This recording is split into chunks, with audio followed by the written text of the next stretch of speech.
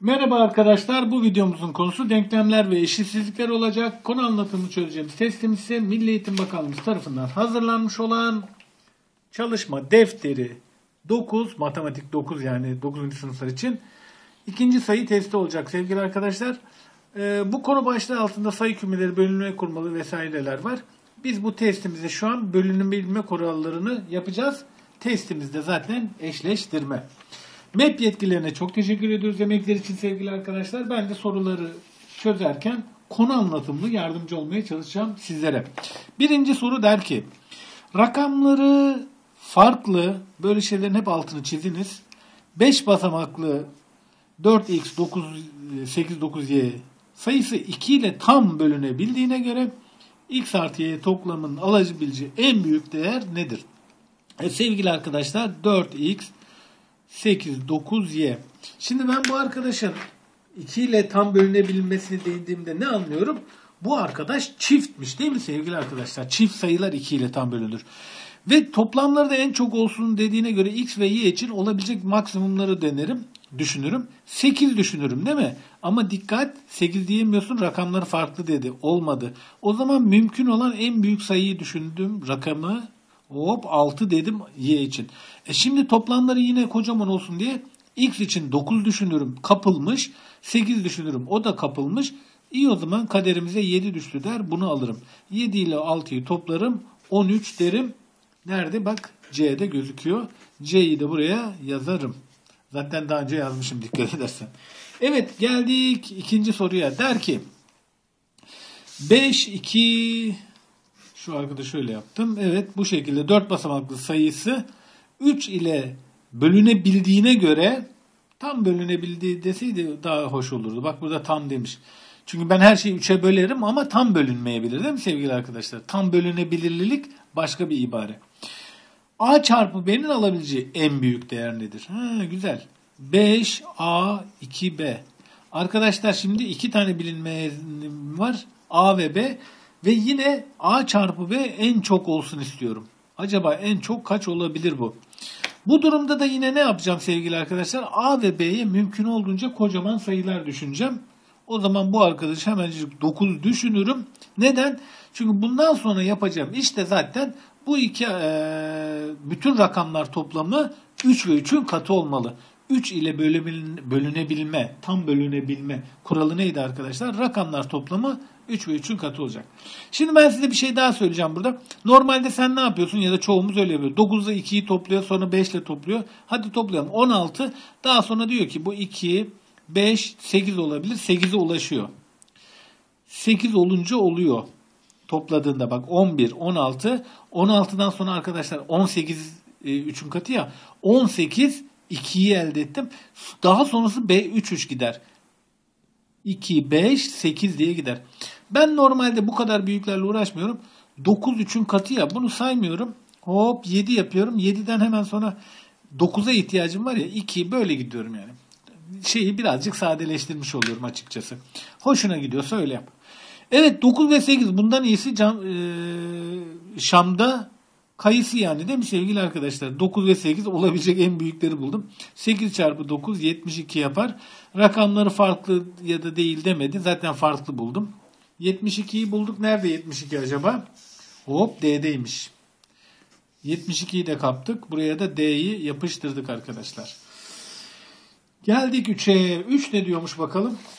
3 basamaklı 7AB sayısı 4 ve 5 ile bölünebilmektedir. Nefis. 4 ve 5 ile bölünebilmektedir. Buna göre A'nın alabileceği değerlerin toplamı nedir? Sevgili arkadaşlar bu soruyu bana şöyle de sorabilirdi. Yine aynı şeyi yapacaktım. 20 ile tam bölünebiliyor deseydi yine ayrı ayrı 4 ve 5'i deneyecektim. Ayrıca şunu söyleyeyim ben sana. Bir sayı hem 4'e hem de 5'e aynı anda bölünebiliyor ise V diyor zaten 20 ile de tam bölünebilir demektir çarpımları. Güzel bunu da e, bir yere not ettik. 7AB hem 4 ile hem de 5 ile arkadaşlar. Ne diyor bana? A'nın alabileceği değerler toplamı. Allah Allah. Önce o zaman B'yi bir halletmem lazım. Arkadaşlar burada en güzel ayırt edici özellik 5 ile bölünebilme. Önce onu hallet. 5 ile bölünebilme kuralım neydi? Birler basamağım 0 ya da 5 olacaktı. Bak burada tarihi bir e, dönemeçtesin. Onu öğrenelim. Şimdi 4 ile bölünebilme kuralım neydi arkadaşlar? Son iki basamağına bakacağım. Son iki basamağı 4'ün katı olacak. Arkadaşlar 4, 4 say bana. 4, 8, 12. Bak 4'ün bütün katları çifttir. 4 kendisi çift olduğu için 4, 4 gittiğinde hep çift görürsün. Sonu 5 ile biten bir sayı tektir. Yani bu arkadaşın 4'ün bir katı olma şansı zaten yoktur. O yüzden bunu hiç değerlendirmezsin. Tek sayılar 4'e bölünemez. Nedenini de anlattım. 4 kendisi çift zaten. Çift, çift, çift gider. Çiftlerle karşılaşır. Buraya geldiğimde şimdi bak A'nın alabileceği değerler arkadaşlar bu bir, son iki basamağına bakıyorum. 0 0 olabilir. Ondan sonra 10 20'lere tekrar bakmana gerek yok. Bak 20'yi buldun. Evet. Şimdi 10 10 gideceksin ya 10 10. 10 ve 4'ün arkadaşlar 5 5 gideceğin için bak 40 40 4'ün katı oluyor. Ee, evet devam edelim. 60 hop 80 burada bitiriyorsun. Bundan sonra yine tek olanları 30, 50, 70'leri de denemene gerek yok. Çünkü 20 ile 30'a giderken 10 fark var. 10 4'ün katı değil. Oysa bak 4'ün katı olan 20-20 gidiyorum. 20-20 gidiyorum. Çünkü 4'ün katı. Buralarda benimle e, arkadaş buluşabilir. Ne dedik bu durumda? A'nın alabileceği değerler toplamı. Bak görüyorsun burada. Hop şurası 10. Burası da 10. 20 oldu sevgili arkadaşlar. 20'yi bulalım bakalım. Aa en son G'yi koymuşlar. G dedik buna da. Güzel. Gelelim 4'e. Evet 4. 2 basamaklı 8 ile bölünebildiğinde 2 kalanını veren kaç sayı vardır? Abo. Enteresan temente değil mi arkadaşlar? Bak bunları da bir takım şeyler geliştirmemiz gerekiyor. Şimdi madem 2 kalanını veriyorsun bana 8'in katı olanları söyleyin. 8, 16, 24 böyle böyle bir gider. 2'nin e, iki basamaklı dedi değil mi arkadaşlar? 2 basamaklı. 2 basamaklı en son kaçtır arkadaşlar? 96'dır. Bak bu 8 çarpı 1'dir. Bu 8 çarpı 2'dir. Bu 8 çarpı 12'dir. Buradan buldum. Şimdi sevgili arkadaşlar bunlar bunlar tamamı 8'in katıysa bunların iki fazlası da her zaman iki kalanını verir. 10, 18, 26 nokta nokta nokta 98. Hepsi bu. Bak bunları da şöyle düşünürüm ben. İki kalanını dediğinde mesela 24 tane cevizin olsa bunları 8-8 ayırsan tam ayırırsın. İki kalanı var diyorsa demek ki senin elinde 26 tane ceviz vardır. 8-8 ayırırsın 3 tane grubun olur 2 tane ceviz artar. Diğerlerinde de öyle. Tam katlarını alıp bunlara 2 eklesen bak 10, 18, 26 bunlar da gider.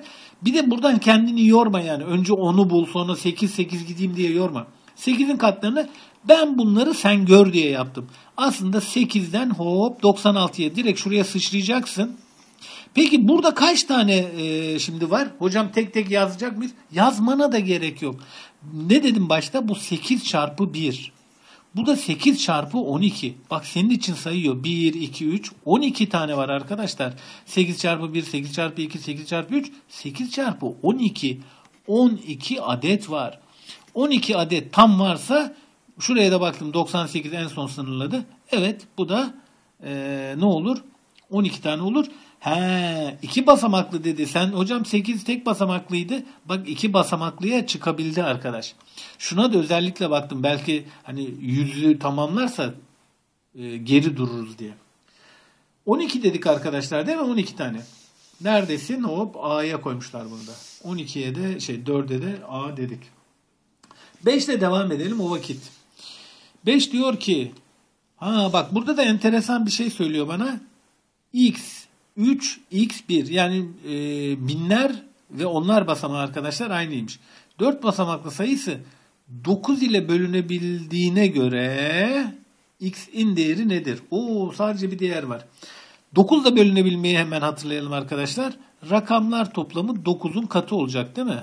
9'un katı. O zaman toplayalım. Şu 3 bir daha 4 yapar. Şimdi 9'un katları olabilmesi için nereye ulaşacağım? 18'e ulaşacağım değil mi arkadaşlar? Toplamları. 18'e ulaşabilmem için 14'e ihtiyacım var. Demek ki bu arkadaşlar 7 7 olmalı. Başka olamıyor mu ya? Enteresan değil mi? Olmuyor arkadaşlar. 9 böyle bir şey işte. 9'un katını bir kere yakaladıktan sonra bundan sonra bir 9 daha gitmen lazım. 7'ye 9 eklersen o artık rakam olmaktan çıkar yani. değil mi yani? 7'ye 9 eklersen rakam olmaktan çıkar icabında. Evet. X'in değeri demişti. 7 dedik. 7'yi bulalım bakalım. Hop F'de varmış arkadaşlar. Buna da F dedik o zaman. Fenerbahçe'nin F'si. Fener'in F'si diyebiliriz. 6 ile devam ediyoruz. 3 basamaklı 4AB sayısı 10 ile bölünebilmektedir. Oo çok güzel. Bu sayının 9 ile bölümünden kalan 1 olduğuna göre A sayısı kaçtır? Gayet böyle temel öğretici testler arkadaşlar.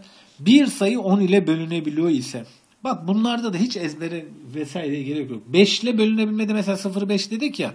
Say bana beşer beşer örneğin. 5, 10, 15, 20. Ya arkadaş birler basamağı hep 0 ya da 5. Şimdi 10 10 say bana 10, 20, 30, 40. Ya birler basamağı 0. Konu kapanmıştır. Yani bu arkadaş 10 ile tam bölünebiliyorsa 4A 0. Bitti. Bu kadar yani. Birler basamağı 0 dedik gitti. Şimdi bu sayının 9 ile bölümünden kalan 1 olduğuna göre dediğinde arkadaşlar 9 ile bölünebilmeyi 5. de yaptık. Neydi? Rakamlar toplamı 9 ve 9'un katı oluyordu.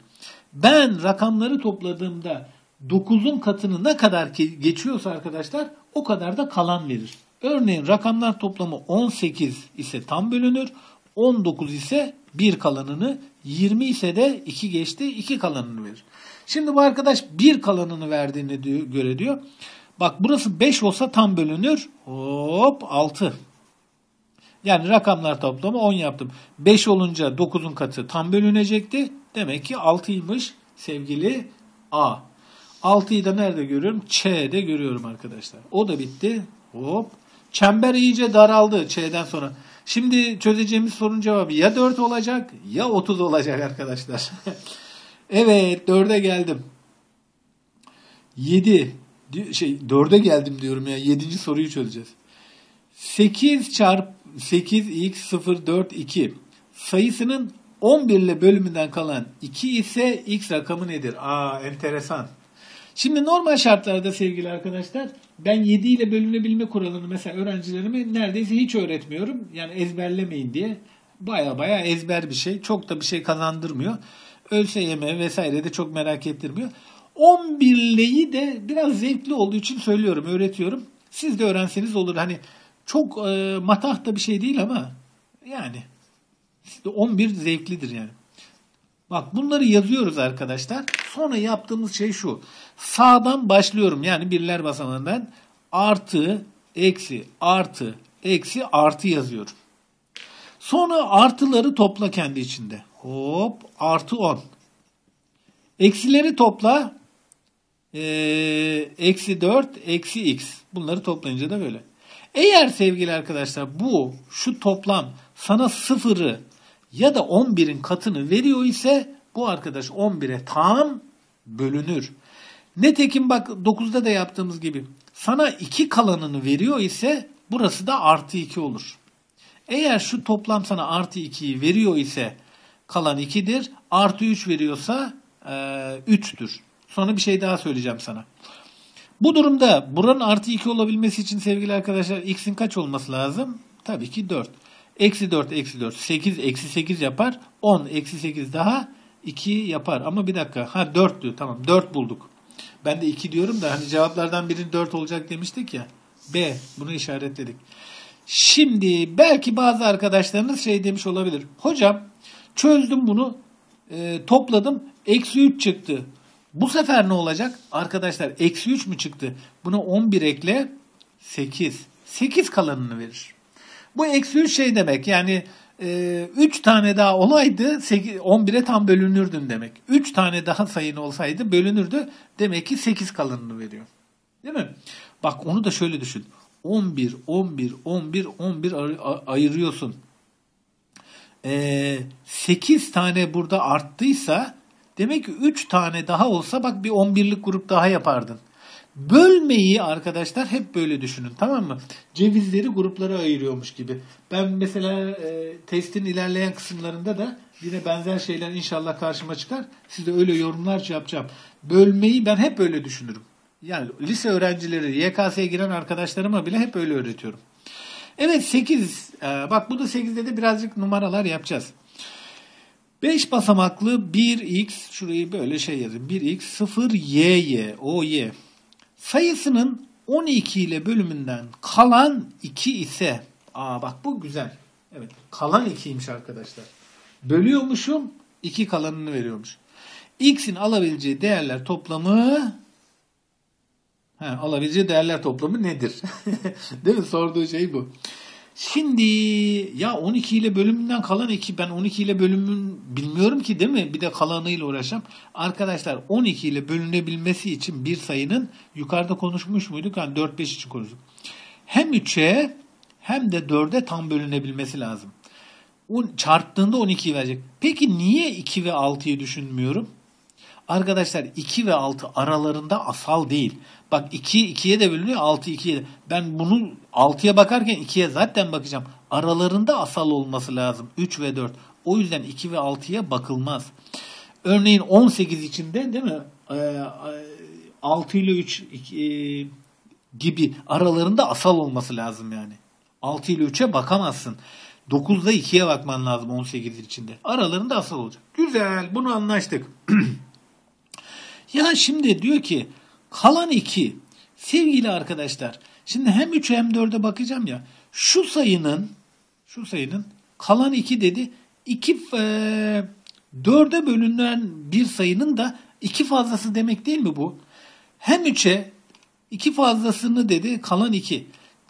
Şeyini düşünün. Bunun e, bölünebildiğini düşünün. Yani bunun 2 eksiğini düşün önce. Bunu, bu sayının 2 eksiği tam bölünür değil mi? Şöyle diyorum bak bütün bütün cevizler gene bak topla topla. Buralarda 12 tane 12 tane 12 tane 12 tane 12 tane var. Şurada da 2 tane ceviz arttı sana. Evet. Şu iki ceviz olmasa bak bu iki ceviz olmasa bunlar tam bölünmeyecek mi? Evet. Bu iki ceviz olmasa bunlar hem 3 hem 4'e bölünmeyecek mi? Bölünür. Çünkü bak bunlar 3 3 gruplara ayrılır. 3 3 3 3 3 3. Bunlar 4 4 4 4 4 4 de ayrılır. Arkadaşlar önce bu arkadaşın 2 eksinin 4'e bölünebilmelerine bakalım. Bu durumda e, birler basamağın benim ne olur? Bak 0 0 olur. 20 ha pardon bir de ne dedik? E, 4'ün katları olacak. 4'ün 20'ler. Ama bak dikkatini çekerim. Ne var burada sevgili arkadaşım? YY var. Aynı rakamlardan bahsediyorum. Sen bunu 20 kabul etsen e, iki tane fazlasını koysan 22 bak pekala olabiliyor. 24 desem 2 eksiği tam bölünecek. Şimdi kalan bu sayı olamıyor. E, 2 eksiği tam bölündüğü dediğime göre 20'yi düşüneceğim. Güzel 20 olabilir. Çünkü bu arkadaşın artı ikisi hop Hocam başka böyle olabilirler mi? Mesela 12'lerde vesaire olmuyor arkadaşlar. Bak artı ikisi sana 22'yi verir. Bak 22'de de YY. Son iki basamağı aynı oluyor. Böyle gittiğimde mesela e, 24 küsürlerde de olmuyor. 24'te olmaz, 28'de olmaz, 30'larda olmuyor.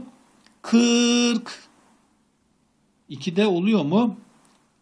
42 katı değil, 44, 48, 60'lara gelsem 64 ha bak 64'te de oldu. Arkadaşlar 64'ü düşündüğümde bak artı ikisi gene sana 66'yı veriyor. Dikkat edersen 40 sonrası verdi sana. Güzel. X'in alabileceği değerler demişti. Buradan yürüyeceğim ben artık. X'i bulmaya oradan gideceğim. Başka ne olabilir? Artık 40 fazlası bitti.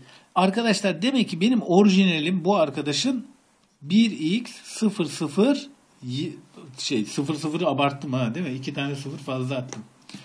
1 0 2 2 1x 0 6 6. Çünkü 4 ile bölündüğümde bana 2 kalanı veriyor. Şimdi arkadaşlar 3 ile bölünebilmeye bakacağım. 3 ile bölünebilmesini istediğimde de 1x 0 20 ve 1x e, 0 64'ü deneyeceğim. Neden bunları deneyeceğim sevgili arkadaşlar? Çünkü ben x'in alabileceği değerleri düşünüyorum. Bölünebilenler bunlar. Benim sayım bu kabul. Ama bölünebilme ben 3 ile bölünebilmeyi test ediyorum ya. 3 ile bölünebilme için bunlara bakmam lazım sevgili arkadaşlar. Çünkü tam bölünenler bunlar. Şu iki cevizin olmadığı durumlar. Şurası 2 eksik, 2 eksik. Orijinal sayımın 2 eksiği. Güzel. Şimdi x için şimdi 3 ile bölünebilmeye bakıyordum arkadaşlar. Bak topladım 1 3 1 2 daha 3 yapar. Bundan sonra arkadaşlar x 0 3 6 ve 9 olur. 0 3 6 9. Şöyle yazsaydım daha güzelmiş. Şu kırmızı da e, gözükmez hale aldı. 0 3 6 ve 9 olur. Hop bunu kilitledim. Şimdi buraya geldiğimde sevgili arkadaşlar 7 11 Değil mi? 10, 11. 12 olması için 1. Şimdi 3, 3 git. 4, 7. İşte budur. Tamam. Hepsi bu kadar arkadaşlar. Şurası 9, 9, 18. Burası 5. Burası da 12 oldu. Bütün topladım arkadaşlar. Kaç buldum? 30 buldum. Hop 30'u da E'de gördüm. Arkadaşlar buradaki trik e, umarım anlatabilmişimdir. Şu ceviz olayını unutma bak. 12, 12, 12, 12, 12 ayırıyorum. 2 tane ceviz artmış. Şimdi bu iki ceviz olmasaydı, şu iki ceviz olmasaydı bunlar 12'ye tam bölünürdü. 12'ye tam bölünen de hem 3'e hem 4'e bölünür. Ben bunu araştırdım. E, 4'e bölünebilmesi ayırt edici bir özellik. Son iki rakamımın arkadaşlar ne olmasını istiyorum? 4'ün katı olması lazım. Ama Aynı zamanda da bak YY çiftini bana vermeli. Aynı şey. İki fazlası bana bunları verecek. İki fazlası bunu verecekse benim alternatiflerim zaten 11, 22, 33, 44, 55, 66, 77 ya da 88 ya da 99 olurdu değil mi? İki fazlasını. Ben buradan yürüdüm. 2 eksiği bak 4'e bölünüyor. 2 eksiği e, dörde bölünebiliyor. Bunlardan gidecektim. Ha bir dakika 42'yi atlamış mıyız ya? Yok 42 yok. Değil mi? Bak 2 eksiği sana bunlardan veren 22 ile 66 idi. Ben burada biraz daha hızlı geçmiş olabilirim onu. Senin alternatiflerin 11, 22, 33 olabilirdi. Buradan çok kolaylıkla gidebilirdim. Evet sevgili arkadaşlar böylelikle bu testimizin de sonuna gelmiş bulunuyoruz. Dinlediğiniz seyrettiğiniz için teşekkür ederim. Umarım sizler için faydalı bir video olmuştur. Sağlıcakla kalın.